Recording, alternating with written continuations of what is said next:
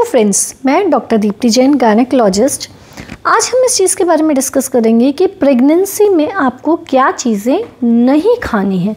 किन चीज़ों का स्पेसिफिकली आपको डाइट में ध्यान रखना है, जो चीज़ें आपको नहीं कंज्यूम करनी है, नहीं खानी है। तो सबसे पहले आता है पपीता और पाइनएप्पल आपको प्रेगनेंसी के दौरान पपीता स्पेसिफिकली कच्चा पपीता, बिल्कुल नहीं खाना है पाइनएप्पल भी नहीं खाना है।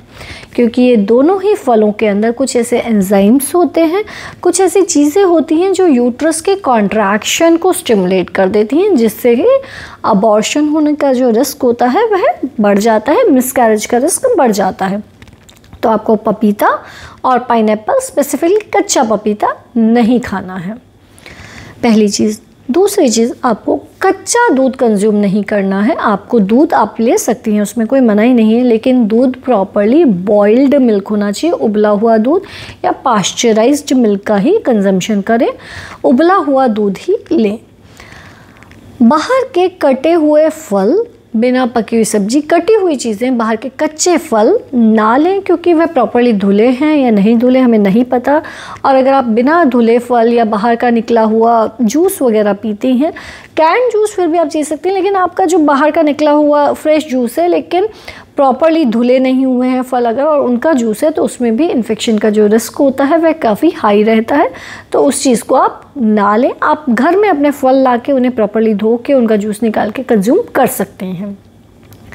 प्रेगनेंसी के दौरान हम बहुत ज़्यादा मिर्च मसाले वाला और ऑयली खाने के लिए भी मना करते हैं, क्योंकि प्रेगनेंसी के दौरान ऑलरेडी गैस्ट्राइटिस एसिडिटी गैस की समस्या काफ़ी ज़्यादा रहती है महिलाओं को, जो कि जब आप बहुत ज़्यादा मिर्च मसाले वाला स्पाइसी खाना खाते हैं या बहुत तेल घी वाला खाना खाते हैं तो यह समस्या बढ़ जाती है। इसलिए खाने में बहुत ज़्यादा मिर्च मसाला या तेल का प्रयोग ना करें कम मिर्च मसाला, कम तेल घी का खाना खाएँ तो वह आपके लिए बेहतर रहेगा।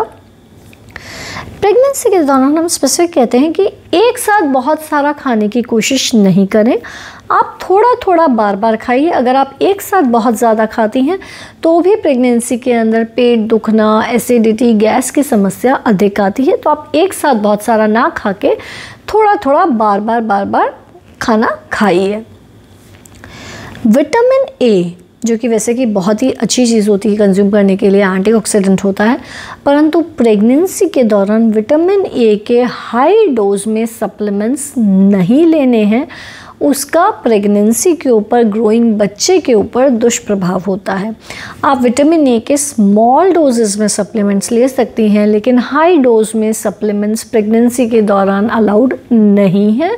उस चीज़ का स्पेसिफिकली ध्यान रखिए मल्टीविटामिन में जो हल्का फुल्का विटामिन ए होता है वेरी स्मॉल क्वांटिटी में वह चलेगा बट जो स्पेसिफिकली विटामिन ए के सप्लीमेंट्स आते हैं, वह आपको कंज्यूम नहीं करने हैं प्रेगनेंसी के दौरान।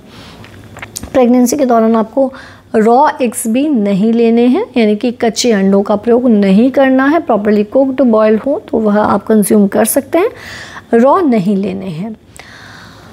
आपको प्रेगनेंसी में बहुत कॉमनली कहा जाता है कि ज़्यादा खाइए ज़्यादा खाइए, दो के लिए खाइए। तो ऐसा नहीं कि आपको दो के लिए नहीं खाना है डेफिनेटली कैलोरी इंटेक बढ़ जाता है। सेकेंड ट्राइमेस्टर में, यानी कि बीच के तीन महीनों में आपको साढ़े तीन सौ एक्स्ट्रा कैलोरीज़ लेनी होती है और आखिर के तीन महीनों में आपको 500 एक्स्ट्रा कैलोरीज़ की ज़रूरत रहती है। नॉर्मली हम 2000 के आसपास कैलोरीज़ कहते हैं और उसमें ये ऐड ऑन कर देते हैं। तो रफली यानी कि थोड़ी जितना आप ले रहे थे पहले, उससे रफली हम 10 से 15 परसेंट एक्स्ट्रा कैलोरी लेने के लिए आपको कहते हैं, ज़्यादा से ज़्यादा 20 प्रतिशत। लेकिन ऐसा नहीं है कि आप दो के लिए खाएँ, यानी कि आप पहले 2000 कैलोरी ले रही थी तो अब आप 4000 कैलोरी का खाना लें। क्योंकि अगर आप इतना सारा कैलोरीज़ का खाना लेंगी तो फ़ायदा होने की जगह नुकसान हो सकता है, आपको गेस्टेशनल डायबिटीज़ हो सकता है, यानी कि प्रेगनेंसी के दौरान डायबिटीज़ हो जाना प्रेगनेंसी के दौरान शुगर लेवल्स का बढ़ जाना, जिसका कि बच्चे की ग्रोथ पे हार्मफुल इफ़ेक्ट आ सकता है। तो यानी प्रेगनेंसी के दौरान, यानी कि आपको थोड़ी एक्स्ट्रा कैलोरीज की ज़रूरत है, लेकिन एकदम उसको डबल अप करने की ज़रूरत नहीं है, नहीं तो गेस्टेशनल डायबिटीज़ का रिस्क रहेगा। प्रेगनेंसी के दौरान अल्कोहल और स्मोकिंग का उपयोग, प्रयोग बिल्कुल भी नहीं करना चाहिए। अगर आप एक नॉन वेजिटेरियन हैं तो उसमें भी कुछ स्पेसिफिक मॉडिफिकेशंस रिक्वायर्ड रहते हैं। आपको अंडर कुकड यानी कि कम पका हुआ या कच्चा मीट का प्रयोग बिल्कुल नहीं करना है। वह पूरा प्रॉपरली पका हुआ होना चाहिए। अगर आप फ़िशेस कंज्यूम करते हैं तो फ़िश में कुछ पर्टिकुलर फ़िशेस आपको अवॉइड करनी है जिनमें मरकरी का लेवल स्पेसिफिकली हाई होता है जैसे कि शार्क है स्वॉर्ड फ़िश है टूना है। इनका प्रयोग आपको कम करना है इनका प्रयोग नहीं करना है लेवर का प्रयोग नहीं करना है। सो so, अगर आप नॉन वेजिटेरियन हैं तो इन चीज़ों का भी आपको ध्यान रखना है। अब आते हैं हम केफ़ीन के ऊपर। केफ़ीन का प्रयोग, केफ़ीन का अमाउंट प्रेगनेंसी के अंदर आप 200 सौ जितना कर सकते हैं। केफ़ीन किसमें होता है? आपने सुना होगा केफ़ीन के बारे में। केफ़ीन एक कॉमन वस्तु है जो कि चाय में कॉफ़ी में कोला में चॉकलेट में, इन चीज़ों में होती है। तो caffeine, chai coffee is a very common thing almost हर कोई पी ही रहा होता है। तो आप 200 सौ प्रतिदिन तक इसका यूज़ कर सकते हैं, उससे अधिक यूज़ नहीं करना है। आप इसे कैसे कैलकुलेट करेंगे, उसके लिए एक मैं आपको रफ़ आइडिया दे देती हूँ। एक कप कॉफ़ी में रफली 100 एम केफ़ीन होता है। एक कप चाय में रफली 20 से 50 एम केफ़ीन होता है।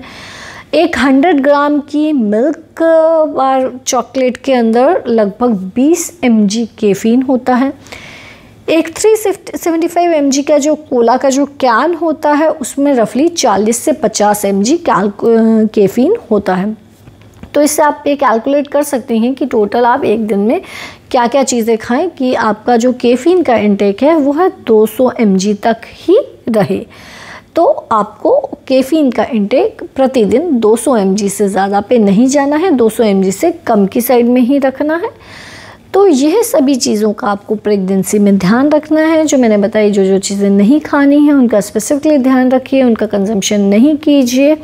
अगर आपको इसके अलावा और भी कोई कन्फ्यूज़न हो तो आप नीचे कमेंट बॉक्स में लिख के हमसे पूछ सकती हैं और चैनल को सब्सक्राइब कीजिए। धन्यवाद।